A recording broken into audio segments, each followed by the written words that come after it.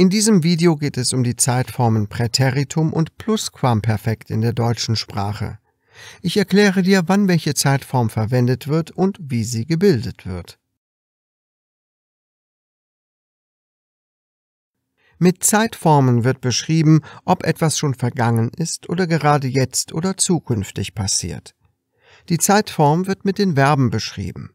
Sie verändern sich je nach Zeitform. In der deutschen Sprache gibt es sechs verschiedene Zeitformen. Die Mitvergangenheit wird auch als Präteritum bezeichnet.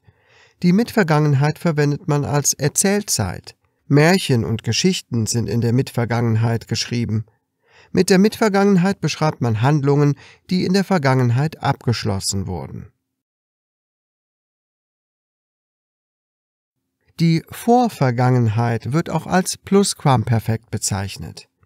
Die Vorvergangenheit wird bei zwei vergangenen Handlungen verwendet, die nicht gleichzeitig stattgefunden haben.